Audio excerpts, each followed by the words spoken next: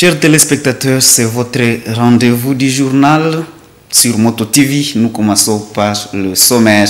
L'accès aux soins de santé est devenu désert dans l'agglomération de Mantumbi et plusieurs villages environnants. C'est en territoire de Béni. Des habitants de cette région peinent à se faire soigner des femmes enceintes qui marchent en pied jusqu'à 20 km pour accéder à l'hôpital dans la commune rurale d'Owicha une zone de santé elle-même qui compte en dizaines ces aires de santé qui ne fonctionnent plus suite à l'insécurité qui sévit dans la région.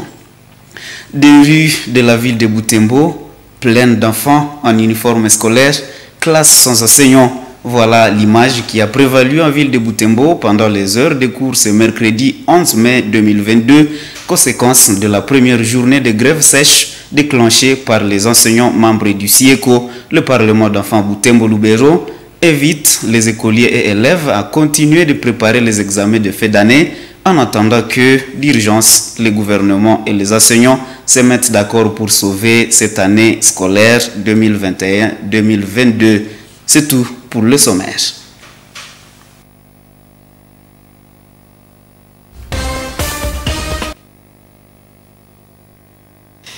Et des habitants de Mantumbi et ceux de plusieurs villages du territoire de Beni éprouvent des difficultés à accéder aux soins de santé. C'est une conséquence de l'insécurité qui sévit dans la région. Notre reporter a constaté que plusieurs structures sanitaires ont fermé leurs portes, laissant ici et des aires sanitaires dans des villages. Delphi Mupanda depuis Beni. Au total, 13 aires de santé sur les 26 qui composent la zone de santé d'Oicha ne sont plus fonctionnelles suite à l'insécurité. Le médecin-chef de cette zone de santé, Dr Shadrach Sueranda, affirme que cette stabilité de la situation sécuritaire cause des dommages si l'organisation des soins dans plusieurs agglomérations de sa juridiction. Nous avons 26 aires de santé. Et il y en a 13 qui ont fermé, disons la moitié. moitié, moitié. Il y en a qui, sont libres de se présenter dans n'importe quelle structure. La population court des risques sanitaires suite à cette situation dans la localité de Mantumpi et les villages environnants. Toutes les structures de santé, même les officines pharmaceutiques ne sont plus en fonction car les agents sanitaires, tout comme d'autres populations, craignent pour leur sécurité. Il faut attendre le vendredi lors du marché où un infirmier se déplace d'Oicha avec les médicaments vers cette agglomération. Les malades graves et les femmes enceintes sont obligés de marcher près de 20 km pour se diriger jusqu'à l'hôpital général de référence d'Oicha, confirme Fatah Kisabu Nimankichula 3, l'un des chefs coutumiers dans la région. Les infirmiers ont déjà eu peur de regagner dans l'entité. Il arrive des fois qu'ils organisent des services minimums. Chaque vendredi, il y a un infirmier venu d'Oicha qui arrive pour nous vendre les médicaments et après les activités du marché, il rentre avec ça jusqu'à Oicha encore. Il n'y a aucune officine pharmaceutique en tout cas. Les malades graves et femmes sont évacués à Oicha. Elles se déplacent en attendant que la grossesse arrive à terme. Le même problème est décrié dans plusieurs autres villages et localités du territoire de Beni qui se sont vidés de plusieurs de leurs habitants suite à la multiplication des attaques du groupe armé ADEF. En ville de Boutembo, plusieurs écoles publiques et conventionnées de la ville de Boutembo ont connu une ambiance inhabituelle ce mercredi 11 mai 2022. Cette situation est consécutive à la grève décrétée par les enseignants réunis au sein du syndicat des enseignants du Congo, Sieko Boutembo, dans certaines écoles primaires et secondaires visitées par Moto TV ce jour. Les écoliers et élèves sont restés inoccupés à côté de leurs enseignants regroupés dans la cour. Pour d'autres, les responsables ont ordonné aux enfants de regagner leur domicile avant même d'accéder à leur salle de classe. Reportage de Francine Moussoa rendu par Joël Tali. C'est la cour de l'école primaire Matengenezo, une école publique. Ici, certains écoliers retournent à la maison et d'autres se livrent aux différents jeux dans la cour scolaire. Gloria, cette écolière de la cinquième année, décide de retourner à la maison car selon elle depuis le lundi, ils n'ont suivi aucun cours. Parce que les enseignants ne nous enseignent pas. Nous sommes ici pour étudier seulement, ne nous pas. Depuis quand? Depuis avant-hier. Une situation qui inquiète le directeur de cette école, M. Moussira Avoué. Celui-ci demande aux enseignants de revoir leur façon de revendiquer leurs droits en pensant aux écoliers en quelques jours qui les séparent de cette fin de l'année scolaire. Nous avons des instructions à leur faire. Mais quelqu'un qui veut aller à grève et qui reste à la maison, moi je ne peux pas le poursuivre jusque chez lui à la maison. Je peux toujours lui, donner certaines instructions s'il est venu au service. Mais s'il est à la maison, je conseille quand même de, de songer aux enfants et de continuer quand même la lutte peut-être autrement. Mais... À quelques mètres de là, à l'Institut Kivako, la situation est similaire. Dans cette classe de la sixième année des humanités en technique sociale, ces élèves s'occupent individuellement. Si les uns se sont rassemblés pour suivre le film, d'autres profitent de ces temps pour compléter leurs notes. Les enseignants, quant à eux, sont certains regroupés devant des salles de classe. Dans la salle des professeurs, seuls deux enseignants sont présents. Moïse, l'un des élèves finalistes, souhaite voir ses enseignants sursoir leurs décisions. Ça, on peut dire que peut-être c'est la grève des enseignants, puisque de le matin jusqu'à présent, les professeurs ne pas encore présentés dans la salle de classe. On n'aperçoit que c'est pour la première fois que je suis à 6 année. Donc là, c'est pas bon. Donc. Oui. Pourquoi Parce que sinon, on risque de perdre, et puis on perd, beaucoup. Donc là, comme nous sommes finalistes, on ne devrait pas avoir des situations pareilles. Dans une autre partie de la ville, à l'école primaire Tsaka et Mater Ecclesiae des écoles conventionnées catholiques, les autorités ordonnent aux enfants de regagner leur domicile. Dans une assemblée générale tenue le mardi 10 mai, les enseignants syndicalistes ont décidé d'amplifier leur mouvement de grève. Ils demandent au gouvernement d'accélérer le processus de paiement des enseignants nouvelles unités et d'assurer la paie des enseignants impayés. Et le Parlement d'enfants de Boutembo Lubero demande au gouvernement congolais de décanter la situation des enseignants pour sauver cette année scolaire qui s'achève dans deux mois selon les calendriers scolaires et plaidoyer consécutif au mouvement de grève déclenché par des enseignants membres du CIECO Boutembo depuis lundi 9 mai 2022. Dans un communiqué rendu public ce mercredi 11 mai, cette structure de défense des droits de l'enfant invite les élèves à continuer de préparer leurs examens de fin d'année qui pointent à l'horizon, ce en attendant qu'une solution soit trouvée urgemment entre les enseignants et les gouvernements. Les propos de Christian Passa, vice-président du Parlement d'enfants Boutembo Lubero, ont été recueillis par Joël Tali. Nous leur avons demandé de tenir compte de leurs promesses qu'ils avaient adressées aux enseignants afin que les enseignants puissent être encore une fois motivés. Parce que ces enseignants, depuis le début de l'année, ils se sont toujours sacrifiés. Donc nous, savons tous la condition que les enseignants traversent. Ils enseignent sans autant avoir quelque chose à retour. Donc nous demandons vraiment au gouvernement euh, de satisfaire aux besoins des enseignants, de répondre à leurs préoccupations, afin que ces enseignants puissent encore reprendre les, activités scolaires avec force. Donc nous avons constaté qu'il y a suspension des activités scolaires dans des écoles publiques. Et c'est quelque chose qui nous a vraiment euh, amené de la tristesse vu que l'éducation contribue vraiment au développement des enfants. Mais lorsqu'il y a suspension des activités scolaires, cela crée vraiment un grave vide dans la vie des enfants. Donc, vu que nous sommes encore presque à la fin de l'année et, que la mesure de suspension des activités scolaires intervient, ça va vraiment perturber le calendrier scolaire.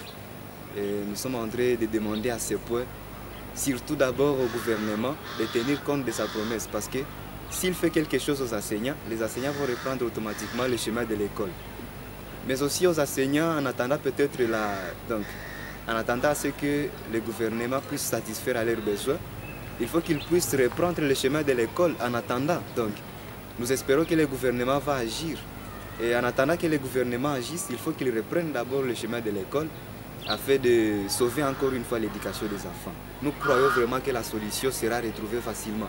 Donc nous comptons faire des plaidoyers auprès des enseignants, mais aussi auprès des autorités compétentes, afin que la solution vraiment puisse être retrouvée. Et en attendant que la solution puisse être retrouvée, que les écoliers à la maison profitent de ces moments euh, pour se concentrer, parce que après ces, ces quelques jours de grève, ils vont reprendre encore les activités. Et il faudra que ces activités puissent reprendre euh, pendant qu'ils sont vraiment prêts. Donc, que ce soit vraiment ce moment ici où ils vont encore se concentrer davantage, qu'ils revoient encore leurs notes, surtout les finalistes de l'école primaire, qu'ils se préparent vraiment à ces épreuves qui sont devant.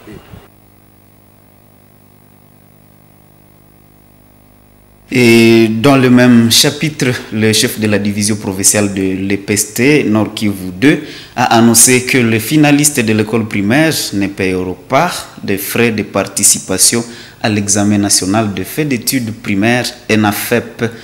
Annonce faite lundi 9 mai dernier au cours de l'Assemblée générale d'évaluation de la première moitié de l'année scolaire 2021-2022 dans cette entité.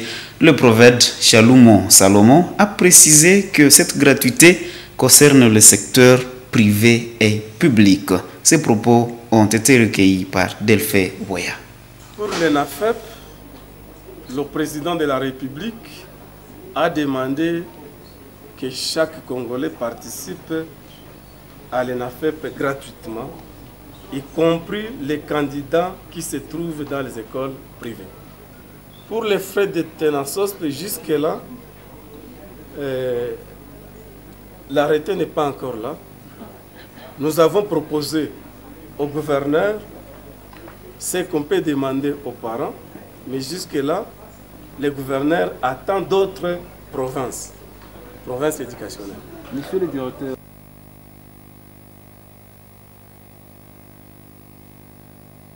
Autre chose en présent, l'humanité célèbre chaque 11 mai la journée mondiale des espèces menacées, une journée qui a pour objectif de sensibiliser le monde scientifique et le plus grand public sur la protection de la nature. En marge de cette journée, Moto TV s'est intéressé au rôle que jouent les artistes et musiciens dans la protection des espèces menacées. Popal Issé, un artiste engagé dans les showbiz environnemental, nous parle du rôle des musiciens dans la sensibilisation de la population pour la protection de ces espèces. Écoutons-le. Euh, J'ai pu euh, euh, percer dans ce domaine de showbiz environnemental. C'était primo dans le cadre de la sensibilisation et vulgarisation de la conservation de la nature. Pourquoi Et que D'abord, j'ai grandi, je suis aîné grandi euh, de la ville environnant le parc national de Virunga. Et c'est là où j'ai pris le goût de faire la musique pour la conservation de la nature. Et c'est là, quand je fais la musique comme ma profession, j'en profite pour faire passer ce message, puisque c'est un message très très capital.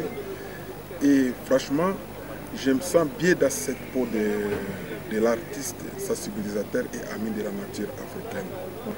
Chacun est libre de faire ce qu'il peut faire dans les domaines musicaux, en, en tenant fonction de, de, ses, de, de sa vocation. Mais ce que je peux dire aux artistes, il ne faut jamais faire un album sans parler de l'environnement. C'est très très important. Puisque nous tous, que vous soyez prêtre, que vous soyez commerçant, que vous soyez élève, que vous soyez païen, que vous soyez chrétien, nous tous nous, nous vivons dans la nature. Et c'est cette nature qui est notre mère supérieure et qui est notre source d'inspiration. J'exhorte à tous les artistes de faire un geste qui peut aider à sauver la nature nature. La population urbaine est appelée à conserver des espèces végétales et animales pour un développement durable, appel lancé par les chercheurs en agrobiodiversité et éco-développement Kabuya Janon au cours d'une émission Science qu'il a animée à la radio Elimou. C'était à l'occasion de la journée mondiale des espèces menacées, célébrée ce mercredi 11 mai. Il a sensibilisé sur la question de protéger des espèces comme des arbres qui procurent de l'air fraîche. Reportage de Jenny Moussivirois et Roland Tchatchimois. De pouvoir nous parler de la conservation.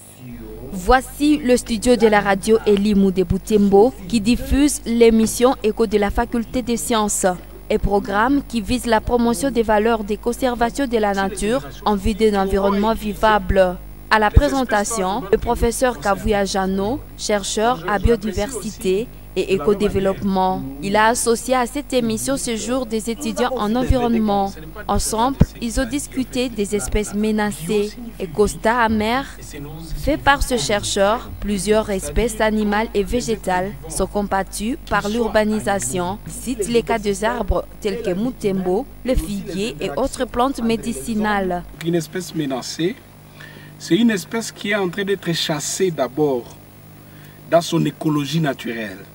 Parce qu'il faut savoir que toute espèce ne vit que là où elle a toléré son milieu, donc ses conditions écologiques.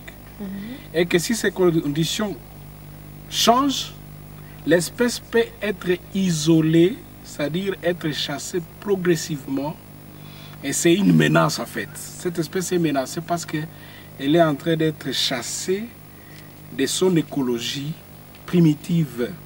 Des espèces, c'est l'urbanisation. Ça veut dire quand, quand on identifie les grandes causes de, de la disparition de certaines espèces, la menace est humaine.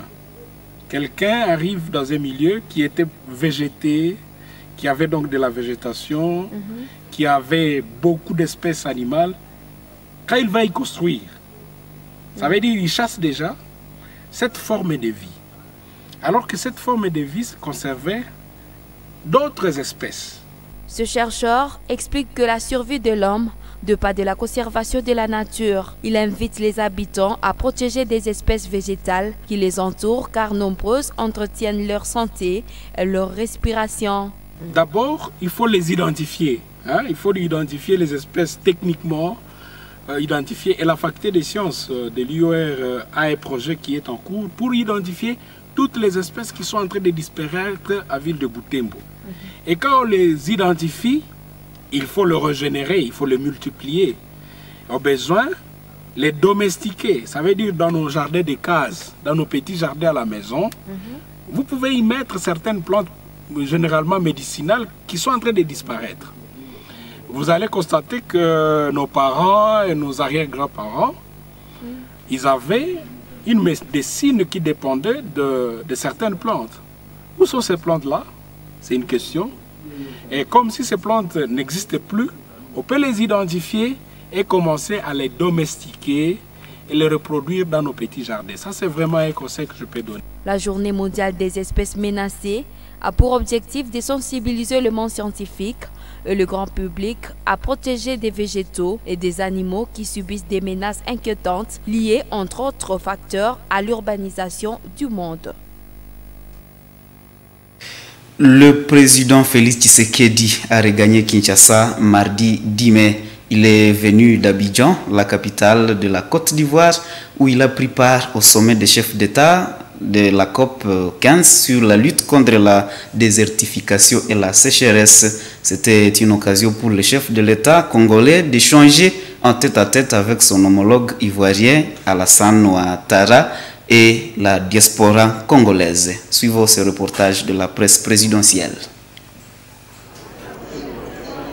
En marge de sa participation à la COP15 sur la lutte contre la déforestation et la dégradation des terres, le président de la République, Félix-Antoine Tshisekedi Chulombo, a été reçu en tête à tête par son homologue Alassane Ouattara. Le chef de l'État ivoirien a remercié son frère congolais pour sa présence et sa contribution à cette réflexion sur l'avenir de notre planète. Présenté comme un pays solution face aux défis du changement climatique, la voix de la République démocratique du Congo était très attendue à Abidjan et le discours du président Tshisekedi a été très apprécié. Comme à son habitude, le chef de l'État a profité de ce voyage à l'étranger pour rencontrer la diaspora congolaise.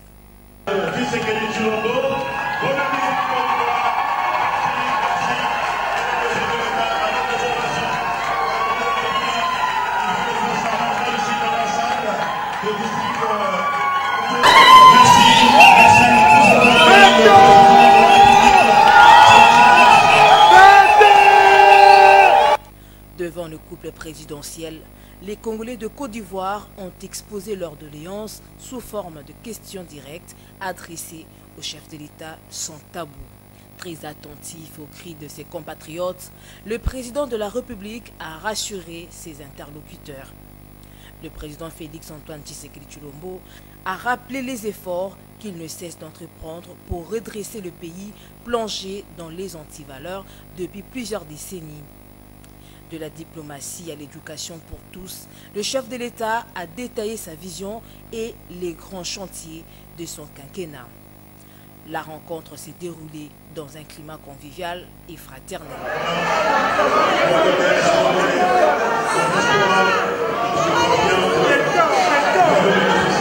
Le chef de l'État et la première dame ont quitté la terre ivoirienne pour regagner Kinshasa en début d'après-midi ce mardi 10 mai 2022. À leur départ, certains officiels de la délégation de la République démocratique du Congo étaient présents sur le tarmac pour saluer le chef de l'État et la première dame. On peut dire sans se tromper que la COP 15 d'Abidjan est une mission accomplie avec succès par la République démocratique du Congo.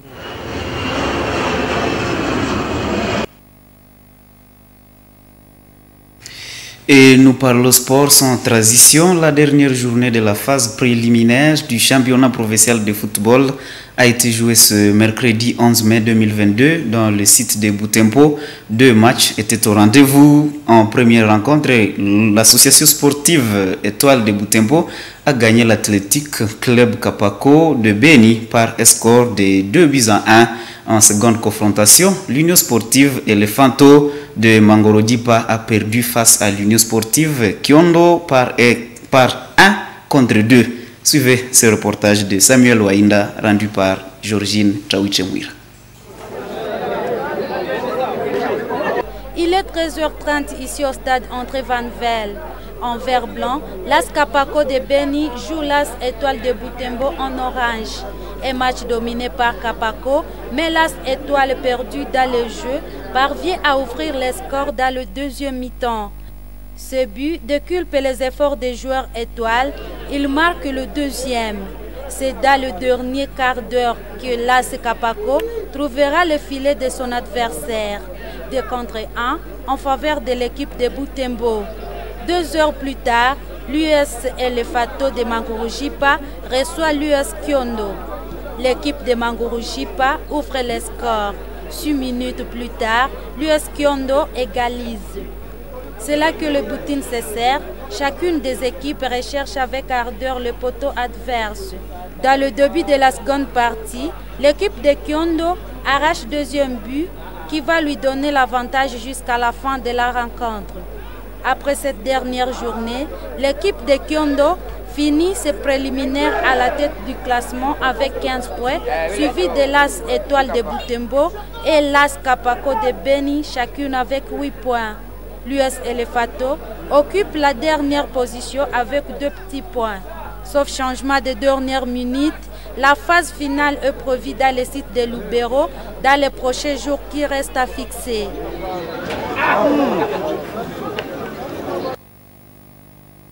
Chers téléspectateurs de Moto TV, c'est tout pour cette édition du journal. Merci de l'avoir regardé. Au revoir.